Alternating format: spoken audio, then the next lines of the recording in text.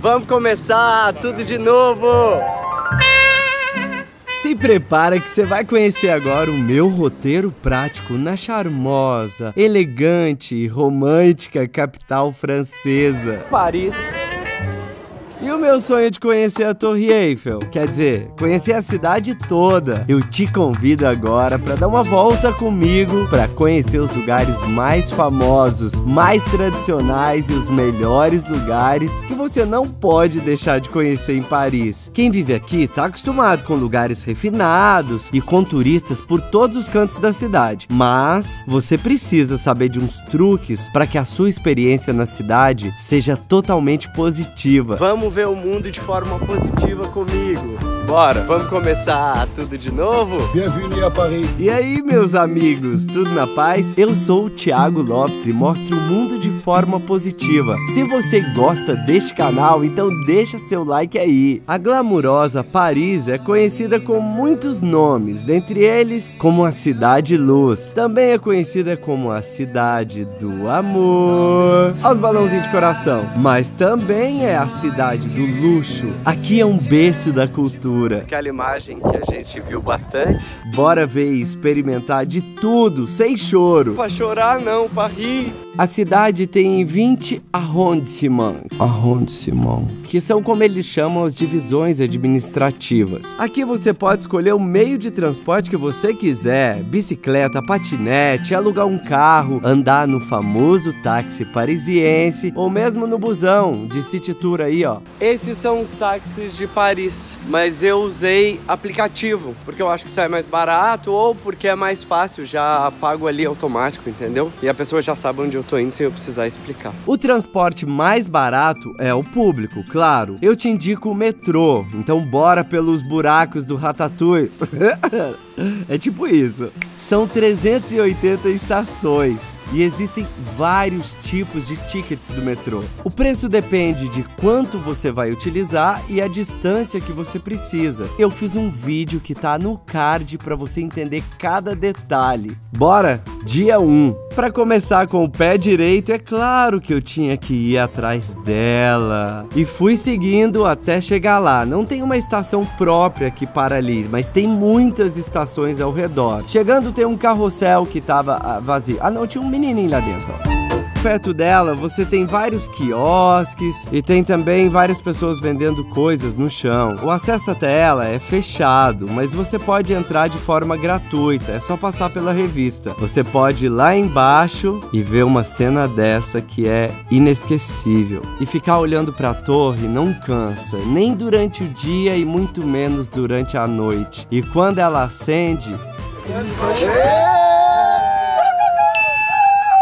Vai todo mundo à loucura, porque é linda demais. Voltando, se você quer subir, olha, vou te dar uma dica para evitar fila. Compra antecipado, porque se você chega com o horário marcado, é muito mais rápido. Seja para subir de escada ou para subir de elevador. Mas claro que eu fiz um vídeo explicando cada detalhe disso e está aparecendo aqui no card. Depois você assiste. Eu fico pensando, montar um quebra-cabeça é difícil. Agora montar uma torre dessa, quantas peças deve ser? Porque olha, só na escada já tem um monte de peça, parafuso. Imagina o cara que desenhou isso aqui inteiro. Quantas peças tem aqui na Torre Eiffel? E tem tanta coisa na torre que vai de restaurante, tem até um auditório. E claro que muitas lojinhas para você comprar souvenirs. Também pode usar a lunette se você quiser usar a luneta, fica à vontade. Dá para ver um raio de 60 quilômetros. De um lado fica essa bela praça que é gratuita para você fazer um piquenique e curtir uma tarde deliciosa ali. Ela é gigantesca e é claro que eu fui lá também. Te falo que é um belo lugar para fazer muitas boas fotos. No meu Instagram tem várias fotos daí, ó. Thiago Lopes. Pra tirar uma legal. Vê se você já tá inscrito lá. Mas eu gosto desses galhos.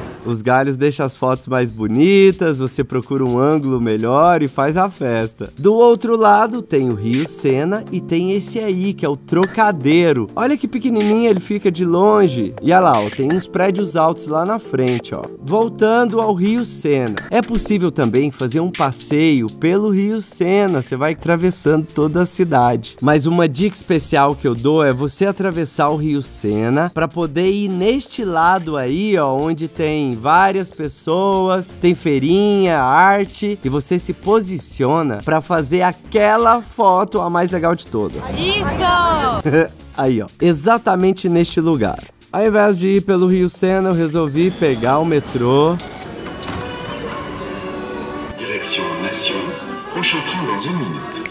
Para você pegar o metrô junto comigo, confere aí se você já está inscrito no meu canal e se eu merecer, você deixa o sininho ativado, tá? Obrigado. Falaram que o metrô era meio perigoso. Não achei. Tô gravando para todos os lados, igual eu também faço em São Paulo e no Brasil todo. Eu me encanto pelas ruas de Paris. É lindo. Falaram que a cidade era meio suja, mas não achei assim. Para andar pela cidade, eu uso sempre o Google Maps e deixei até aqui embaixo na descrição uma playlist de todos os lugares que eu fui já marcados. É só você clicar e seguir o meu perfil lá. Enquanto isso, eu te mostro umas comidinhas de rua que eu encontrei. Na loja de souvenir, olha o que eu encontrei. A boina vermelha que faz sucesso. Olha quanto que ela custa. Uma é 3, 4 é 10. A boininha vermelha sempre em todos os lugares. Isso aí eu preciso abrir um parênteses. Você está presente em todos os lugares que você anda, para um lado e para o outro. E ela se multiplica. Aí, ó. Até eu. De repente eu encontrei ela, a grandiosa catedral gótica que fica no coração da França, a Catedral de Notre-Dame, que passou pela mesma situação que o nosso museu brasileiro. A França é um país que exporta cinema, moda, culinária e arte. Mas alguns hábitos franceses soam um pouco estranhos para nós brasileiros, não é? Exemplo. Eles têm o costume de se cumprimentarem frequentemente aqui. E essa é a melhor dica para você ser bem tratado pelos franceses. Mesmo se você não fala, diga sempre bonjour, bom dia, ça va, como vai, tudo bem? S'il vous plaît, por favor, parlez-vous português, anglais? Você fala português, inglês? Combien? Quanto? Merci beaucoup. Muito obrigado. Olha que interessante.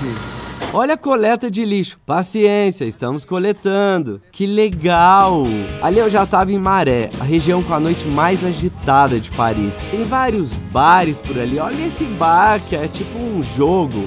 Ah, isso aí. Não é o que você tá pensando. Não é o arco, não. É só para te mostrar mesmo. Tem muitos teatros por ali também, mas eu tava afim, era sabe de quê? Adivinha? De comer, né? Mercadinho, mas não no supermercado. Eu queria comer coisas tradicionais da França. Prato principal, 22, 24. Então eu fui comer uma tradicional batata francesa, tomar um vinho, de sobremesa, o tradicional que você precisa experimentar, mousse au chocolat, que é o mousse de chocolate. E eu fiquei andando por ali e fui parar em Republique, que é um outro bairro. Depois rolou até uma baladinha rápida, mas eu já tava bem cansado e fui dormir. Bora descansar para começar o dia 2. Hoje é um dia que eu saí andando para qualquer lado. Descobri a rua que você compra tecido de carnaval ou tecido, sei lá, colorido. E aqui tem vários lugares que são assim, a região que tem mais isso, mais aquilo, olha que é mais loja. Tipo São Paulo, só que Paris. Tô chegando em Sacré-Cœur.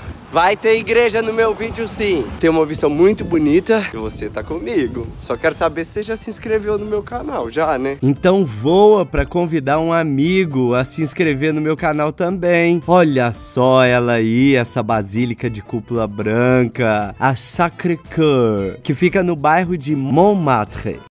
Abaixo dela tem um carrossel. Vamos subir? Quem quiser pode subir de bondinho, mas eu na Torre Eiffel foi de elevador, mas aqui tá sendo de escadas. Coisa linda. Deu uma cansada. A Sacré-Cœur foi construída em cima para abençoar a cidade toda. E sempre dá para ver a torre em algum lugar, né? Ah lá, tá vendo? Ó, dá para chegar e passear de trenzinho também. Vamos ver dentro. Muito linda, né?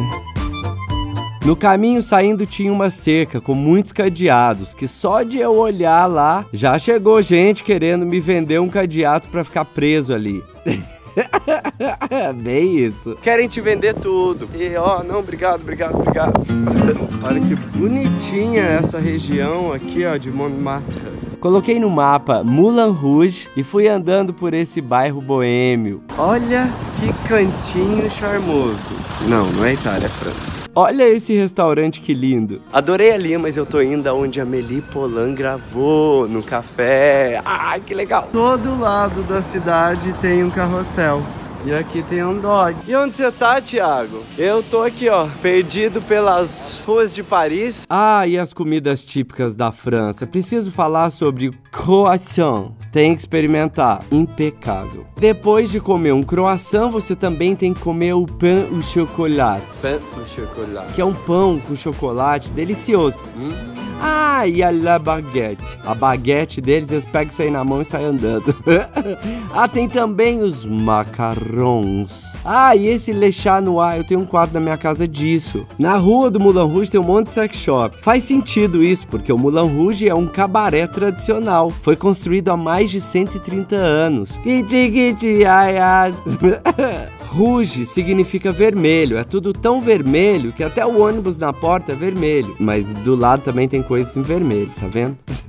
Essa é a bilheteria. Eu só não vou assistir porque custa 200 euros, mais ou menos. Agora vai mais uma dica especial. Olhando pro Moulin Rouge, a primeira rua à direita, pega ela e sobe. Você vai ver a loja do Moulin Rouge. Olha essas canecas. E no primeiro quarteirão você vai encontrar... Olha ali, olha ali. É aqui, ó. Ah, vamos lá. Vamos lá que eu quero comer. Que legal. Esse é o Café da Amélie Poulain. É um filme que eu amo muito, que conta a história da Amélie, se muda para Paris e começa a trabalhar aqui nesse café. Eu já entrei porque tava com fome. Esse é o cartaz do filme. Eu pedi o prato da casa, que tem uma entrada, comida principal e sobremesa. Vem um pãozinho, olha o queijinho. Hum, tava bom, mas a sopa de cebola não tem gosto de cebola, eu amei. E eu achava que eu não gostava de sopa de cebola. E o prato principal agora é cogumelos com uma pasta e também um bœuf. Depois veio a comida principal. E eu comi gostoso.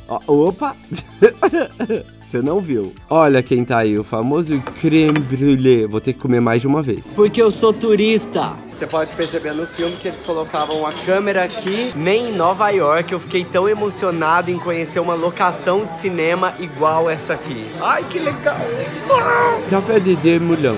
Au revoir. E aqui é a rua. Olha que legal essa arte. Achei demais. Vamos que vocês sabem, né? Temos que começar tudo de novo. Sair andando por tudo quanto é lado. Se quiser, você pode pegar um transporte, mas eu gosto de ir andando para conhecer cada cantinho. Fui até o Opera. Cheguei lá por acaso, mas eu sabia que o Opera era um lugar que eu tinha que conhecer, que eu ia adorar ver a construção, a arquitetura. Olha que belíssimo. Tinha patinete para todos os lados. E aí encontrei esse cara cantando. Um lugar lindo para tirar fotos, para conversar com os amigos e para cantar, por que não?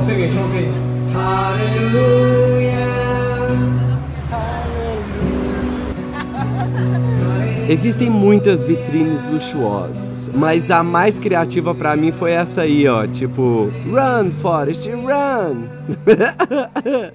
o abacaxi custa 990 euros. O mapa me trouxe agora para o maior museu do mundo. Hoje é dia de Museu do Louvre. Essa primeira fila é apenas uma revista. Tudo rola lá embaixo. Quer dizer, 2, 1, 0, menos 1, menos 2. Em todos esses andares estão 38 mil obras em exposição permanente, dentre elas a mais famosa de todas, Mona Lisa. Na saída eu encontrei a pirâmide invertida, comprar o ingresso na hora, eu economizei alguns euros, mas deixa que eu te falo isso melhor, um vídeo que eu fiz só sobre o Louvre que tá aí no card. Depois você assiste ele também. Se você não quiser entrar aí dentro, eu te falo para você fazer o que eu tô indo fazer. Bora? Na frente do museu tem o Jardim des Tuileries, mas nós estamos indo para o obelisco, que fica na Place de la Concorde. Aqui que aconteceu a cena do Diabo Veste Prada, onde ela pega o celular e joga na fonte. Foi aí, ó. Nosso destino agora é subir até lá em cima. Lá na frente, o Arco do Triunfo. Essa é a Champs-Élysées, mas antes um crepe, vai. Porque assim, crepe é algo que você precisa comer na cidade. Hum, olha só que delícia! E olha só isso. Ó, ó, Ô moça, daí que isso aí também é meu. Sempre que você chegar, fale as palavrinhas mágicas, fica a dica. Um crepe no Jardim da Champs-Élysées pra chegar lá no Arco do Triunfo e assistir o pôr do sol. Será que vai dar tempo? Como eu sou muito famoso, eu fui escoltado pelos polícia. Essa é a famosa Champs-Élysées. Ah, cheia das lojas chiques, uma mais glamurosa e poderosa que a outra, mas desse lado aqui tem um sol mais quentinho. Por isso que antigamente era até mais caro o aluguel de cá do que do outro lado da rua. Esse é um lugar que todos amam passear e aquele ali é o nosso destino. Ó, tem um, um exército aí, é isso? Para chegar lá, você tem que passar por um túnel embaixo dele. Pra atravessar, porque a rua é muito larga, entendeu? É também conhecido como o Arco do Napoleão. Ele foi construído para celebrar as vitórias deles e fica no topo da Champs-Élysées. Vamos subir? Sobe a escada, sobe mais um pouco, não chega. Sobe e aí vamos começar tudo de novo para subir mais. Eu achando que era elevador. Eu comprei um ingresso na hora e nem tinha fila. É bem fácil. Achei que acabou. Não, sobe mais um pouco. Custa 12 euros para subir a escada. Mas aí, quando chega lá em cima, você tem uma vista. Sabe o que tá rolando? Um pôr do sol. Olha isso, a Champs-Élysées, um pôr do sol. Eu fiquei hipnotizado com esse pôr do sol. Olha isso. E mais ainda, do lado do pôr do sol, tava ela. Aqui no arco tem um encontro de 12 avenidas, ruas, enfim, você entendeu, né? Quando anoitece, nesse caso foi 7 horas da noite em ponto. Ou melhor, quando vira a hora, luzes na torre começam a piscar durante 5 minutos. A cada hora ela acende de novo. Agora chega, né? Vamos pro sorteio e vamos descer o caracol, tudo de novo. Aí a gente chega lá embaixo. É tudo muito lindo. Para comer, eu escolhi mais um prato típico francês um entrecôte e vem sempre com uma batata e um molinho meio mostarda, apimentado. Que delícia! Em tudo quanto é lugar da cidade você encontra. Dia 3.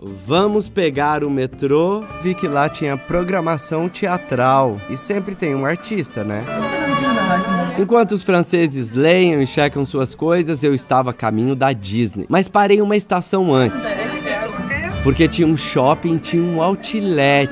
E aí eu fui nesse outlet porque eu precisava comprar uma bota. Tem toda uma segurança por todos os lugares que você passa. Isso é muito legal. Você se sente mais seguro ainda. Então eu aproveitei para gravar e te mostrar uma opção de compras aqui mais barato também. E eu consegui achar a bota à prova d'água que eu precisava. Ah, e esses le macaron. Nossa, isso é gostoso demais. Maison de chocolat.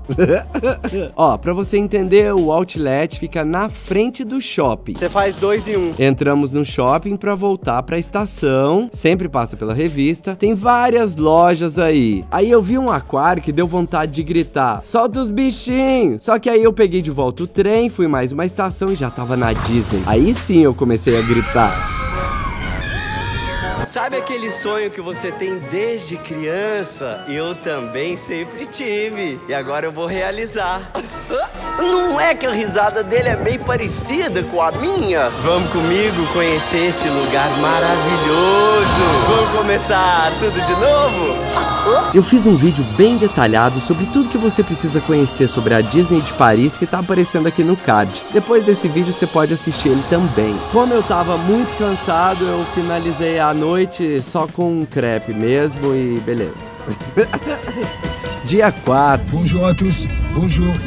Eu peguei um carro pelo aplicativo, tem aqui embaixo na descrição o meu cupom de desconto para você. E eu acho bom que eu vou batendo papo com os motoristas, quer dizer, chofer. A gente só ri.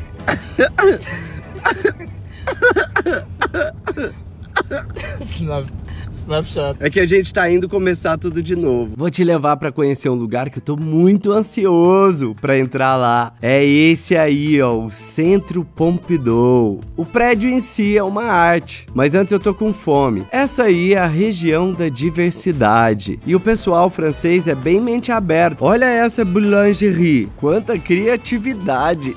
As vitrines me encantavam, era cada uma e esse era o caminho para eu chegar neste restaurante, o Já Já, que é uma indicação muito especial e que falaram assim: Tiago, você precisa ir lá comer neste lugar. Qualidade e bom preço. Então vamos comigo. Olha, um ambiente aconchegante, um restaurante pequeno. Lá fica a cozinha, um restaurante francês que ninguém sabe onde é, super escondido e é lindo. E aí tem as sugestões do dia ou tem o cardápio, mas é óbvio que eu fui na sugestão do dia para ver como que vai ser. E mostro tudo aqui. Em muitos lugares tem essa água gratuita. Mas eu também pedi um vinho francês. E tem um pãozinho. Hum. Hum, essa entradinha tava divina. Vieram e trocaram o talher. E esse era o prato principal. Hum, além de bonita, tava muito saboroso isso. Tava realmente divina. Hum. Mas essa panacota, vixe, a melhor que eu já comi na minha vida. Passei mal. melhor indicação. Hum. A conta vem na rolha. Deu menos de 30 euros com a taça de vinho francês. É muito charmoso esse lugar. Não dá nada para aqui. Aí quando vê, aqui é a entrada e uma rua. E aqui é o restaurante. Demais. Agora vamos nele. Esse é o Centro Pompidou, um prédio mega moderno, cheio de canos aí. Aqui é o Museu Nacional de Arte Moderna. Essa é a entrada. Vamos subir porque tem um grande terraço lá em cima. É muito legal. Olha o tubão que a gente vai passando para chegar lá em cima. Olha isso, tem as saídas dos tubos por outro lado, mas eu acho que é só enfeite. E muitas pombas lá. Esse é o restaurante que fica no terraço. Ó, charmoso. Olha a vista lá de cima. E claro que você vê a torre, né? Sempre. Mesmo que você não seja fã de arte, se permita, pelo menos por esses segundos, a curtir algumas obras. Bora conhecer? A primeira exposição que eu vi foi o do Vassarelli. Achei muito legal. Olha as formas disso. Tinham muitas artes lindas. Olha isso. É demais. Ó o Bowie. Eu ainda vou ter um quarto desse estilo aí, com a parede assim, ó, desse jeito, essas bolas. Gostei. Tinham artes para você viajar. Eu duvido que você não entre nessa viagem. Tá vendo isso aí, essa bolona? Então, pode parecer que não, mas é um quadro liso. É um quadro liso. Tem nada. Olha essa, que incrível! Mas olha como é, assim, sensacional. Agora, essa instalação aí de fone de ouvido eu precisava te mostrar. Fone de ouvido. Demais. E essa, que vê um olho, mas é o rosto, Sensacional. Lá também é uma biblioteca. Bom, vamos sair. Olha esses carrinhos pequenos. Agora olha o tamanho desse, menor ainda. Olha que chiquitito. E tem até estacionamento para carregar esses mini carros. Conheça essa, a estação Gare do Nord. É como se fosse a estação da Sé em São Paulo. Muito grande, de metrô, trem. É muita gente aí dentro. É horário de rush o tempo todo.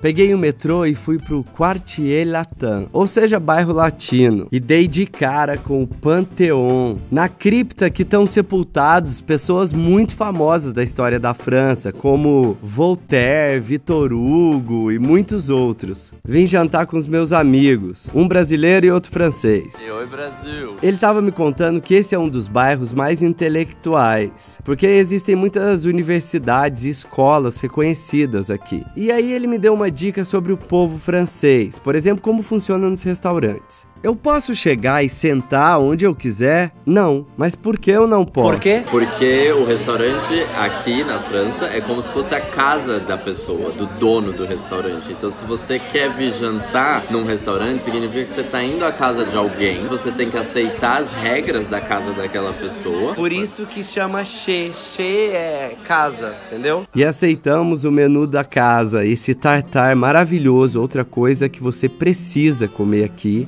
uma batata e saladinha e de sobremesa, hum, creme brulee. Esse é um original creme brulee. E esse é um francês original. Tá aprovado esse aí ou não? Aprovado, passou o teste. Agora você. Tem que quebrar a casquinha, ó. Vale a pena vir aqui na França comer. Agora vamos descansar enquanto a torre ilumina a cidade. Dia 5, La Chapelle. Último dia. Para chegar em qualquer lugar, eu uso sempre um app que chama City Mapper. Todo dia a gente começa de novo aqui, né? Olha essa escada. Não, quer dizer, essa esteira dentro do metrô. O povo passa cantando, gritando, é isso. Olha o tamanho dessa esteira, ela não acaba mais. É muito simples, é só pegar o metrô, depois o trem e chega lá pertinho. E na sua frente aparece ele, o Chateau de Versailles. Primeiro a gente passa pela revista, claro. Olha que belo os detalhes do castelo. Agora vamos entrar pra você ver o que tem lá. Eu fiquei encantado em ver os salões assim. Olha esse quarto aí, pra mim é o mais lindo de todos. Eu queria ficar nessa cama de boa, mas não deixaram eu deitar nela. Ah, j'ai vu. Olha o cabelo desse que moderno. Olha a galeria dos espelhos. Do teto ao lustre, aos detalhes, ao chão. É maravilhoso. Atrás do palácio fica o deslumbrante Jardim de Versailles. Olha eles aí, ó, tirando foto. Vamos postar no Instagram. Já foi no Instagram, né? E aí eu desci até a parte do lago, quer dizer, isso é um canal. Olha lá de longe ficou o castelo e aqui está o canal. Olha quem eu encontrei, patinho. Quack, quack. Muito cena de filme. Esse é o pequeno Trianon, mas olha esse caminho É muito lindo esse lugar, né? Um luxo de natureza. Sorvete, porque eu andei muito. Tá frio, mas você anda tanto e fica com calor. Eu resolvi pegar um sorvete. É bom que o sorvete não derrete. Nossa, que trem bom. Tá aprovado. Entenda que uma visita aqui você vai precisar de um dia completo ou no mínimo a metade do dia. Na volta eu fui, peguei uma água de graça, óbvio. Fui comer no restaurante tailandês, que eu gosto muito, mas a sobremesa era vietnamita. Ó, ficou em 15 euros. Teve outros lugares que eu comi também, mas uma coisa que é inesquecível para mim é o refrigerante deles que chama Orangina. Orangina. Ah, Paris que eu vou ficar com saudade já. eu aprendi com os franceses uma expressão, ser gentil. Eu percebi que eles, com essa frase, reconhecem no próximo a gentileza que foi feita. E a gente sabe que gentileza gera gentileza, né? Ser gentil. E você, tá querendo ir para Paris? Então se lembre das palavras que eu ensinei no vídeo, que vão te ajudar muito. Bom, não dá para mostrar tudo. Um deles tá todo. Qual? Fique à vontade para comentar e sugerir novos lugares, porque eu tô voltando para Paris em breve. Olha a pontezinha. Olha uma visão diferente da torre. Um brinde a você que me assiste. Merci. Então já escolhe outro vídeo aí daqui da França, ou da Suécia, ou da Argentina, ou do Chile. Já tô te esperando no outro vídeo. Fica na paz. Au revoir.